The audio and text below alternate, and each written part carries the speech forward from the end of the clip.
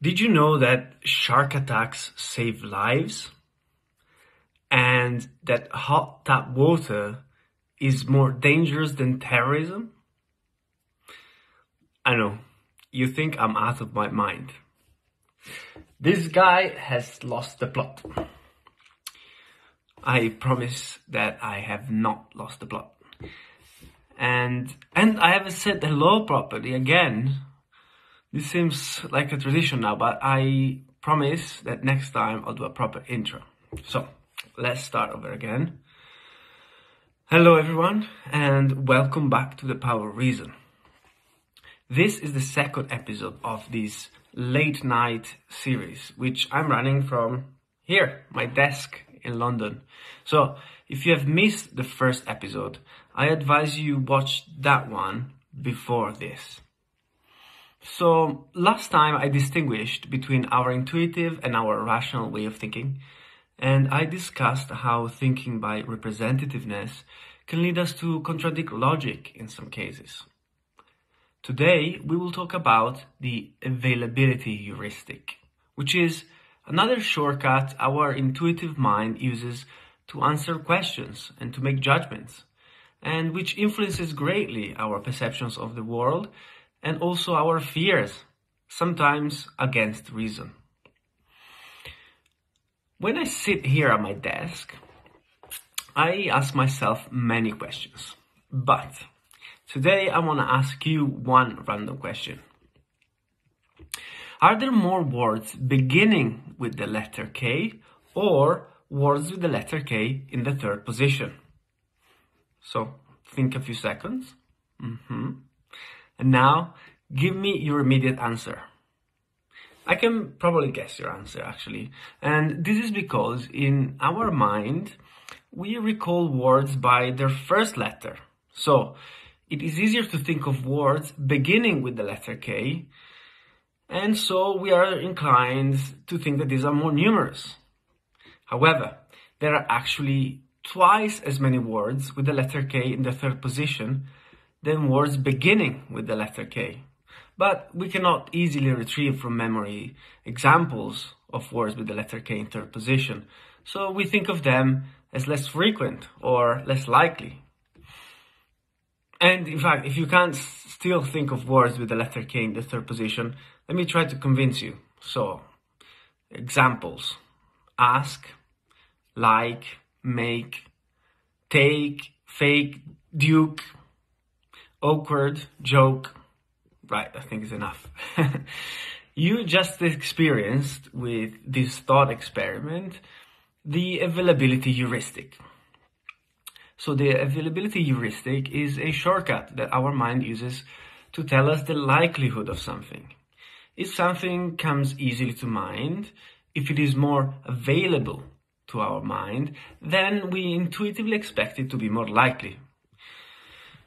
This is generally useful because if we experience something frequently, then we can expect it to happen again and be prepared. This is why we evolved this intuition. Mm, a trivial example. I live in London, so I experience rain often. And so I can easily think of rain. And correctly, I will expect rain to be more likely. This is a simple mechanism, very simple. However, frequency is not the only thing that will make something come easily to mind.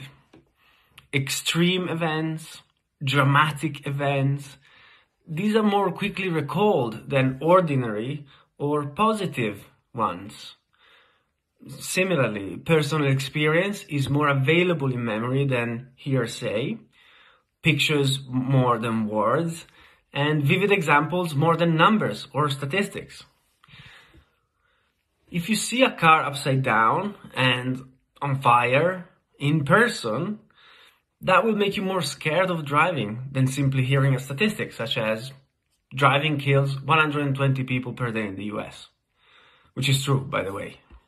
So, a vivid image can change our behavior more than hearing just a number.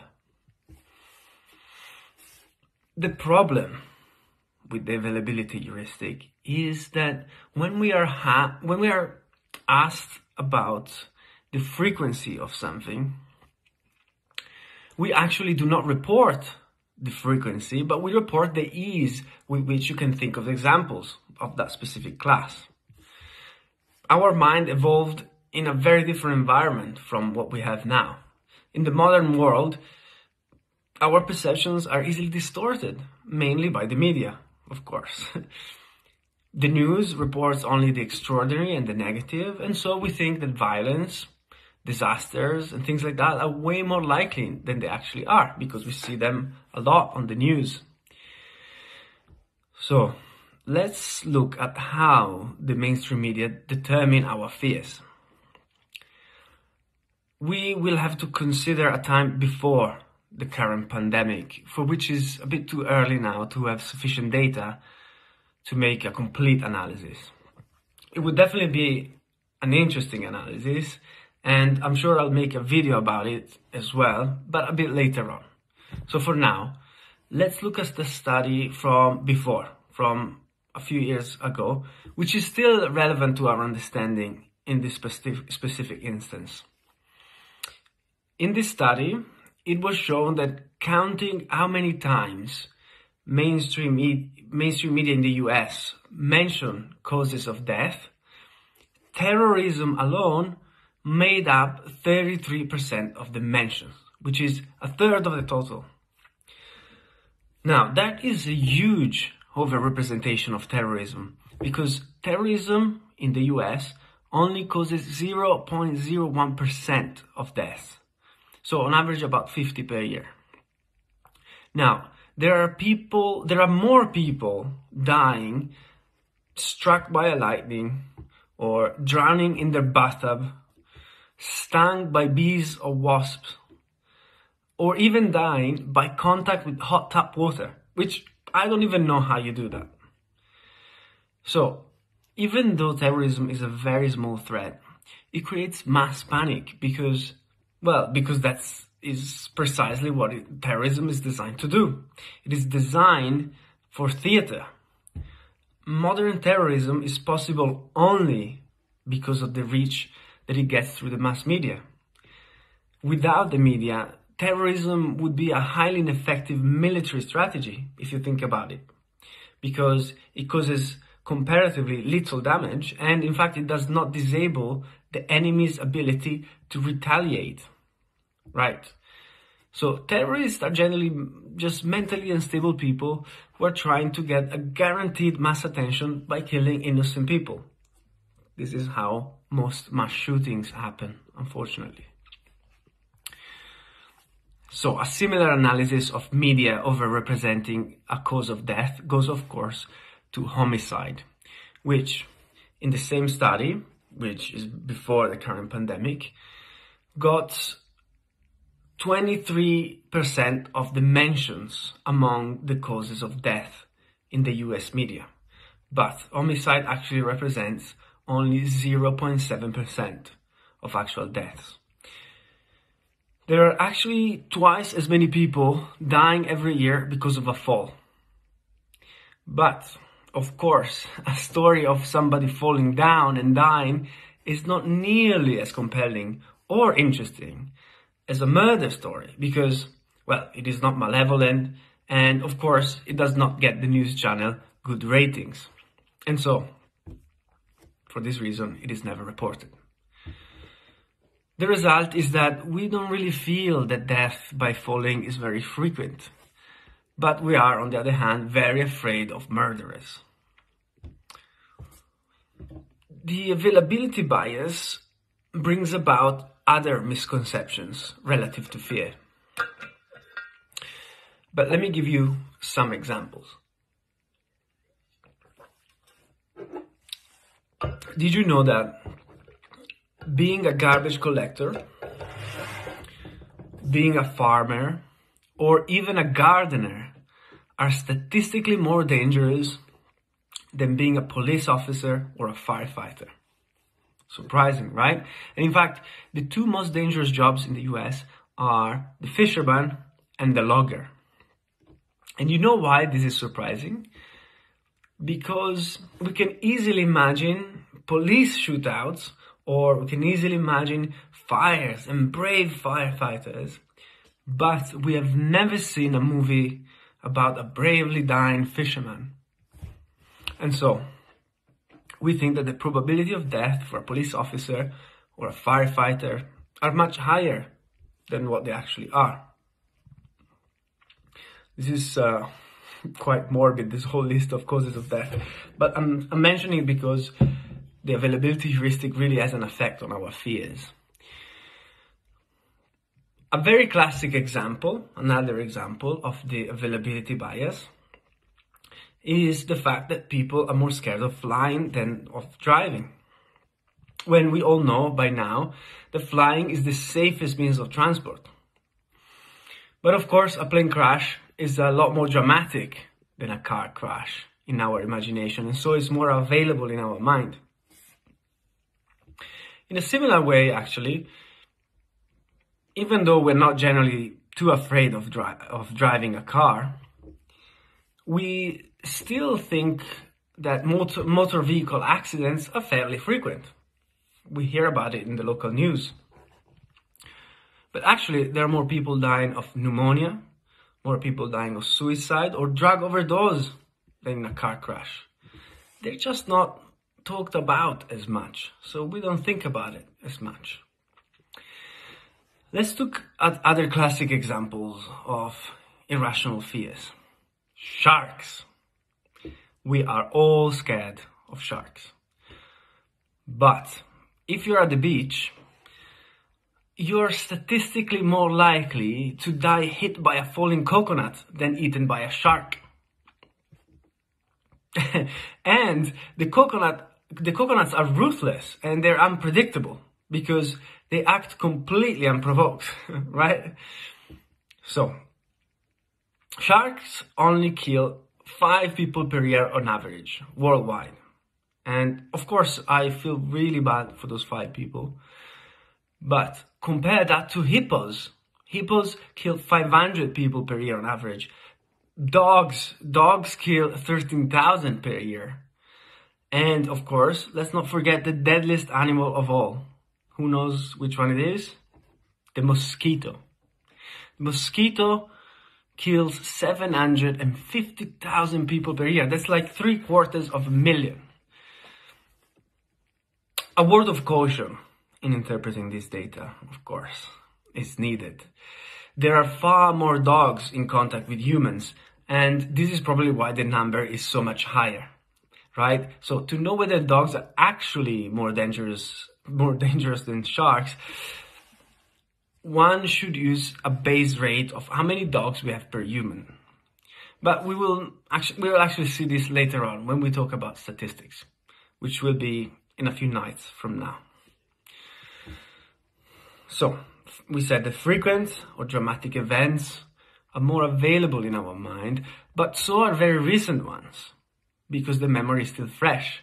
So we think of something as more likely. After a natural disaster, for example, insurance companies have to spend millions on payouts to cover for the damage. And yet, they end up making more money when a disaster happens because many more people buy insurance all of a sudden. If a earthquake has just happened, people tend to think that another one is now more likely, given that a fresh memory comes, comes more easily to mind.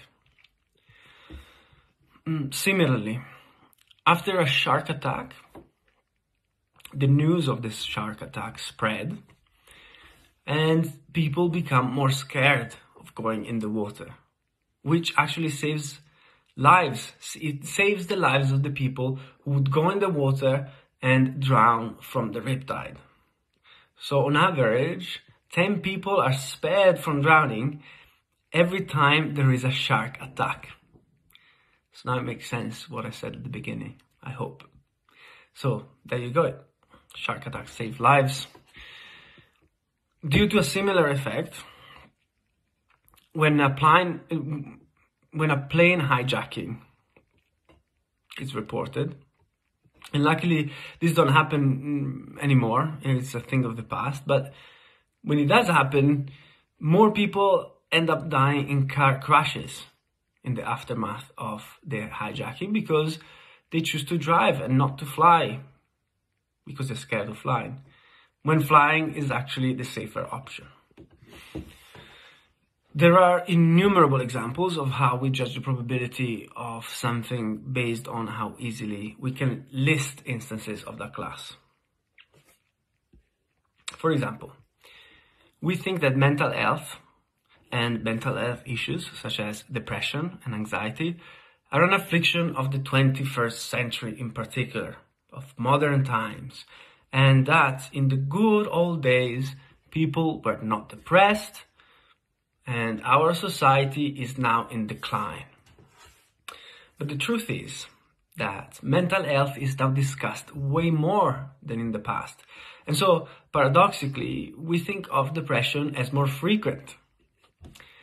100 years ago, the Diagnostic and Statistical Manual of Mental Health, which is where all the mental health um, disorders are listed, 100 years ago, it only listed 15 disorders. And now it lists about 300. So a lot more. They didn't just come out of the woodwork. They were always there, but there wasn't a name for them. Now, we can more easily list mental disorders at the present time. So we think that they are more frequent. Before, if you were depressed, there wasn't even a word to describe that. So, far from being in decline, our society now cares a lot more, and people are better off because of it. The final thing I want to emphasize about the availability heuristic is that, in a paradoxical way, the ease with which we can list items is more influential than the actual number of items we list this is an old experiment, and uh, in this old experiment, a professor asked his students to list possible improvements for his course. And afterwards, he asked them to rate the course.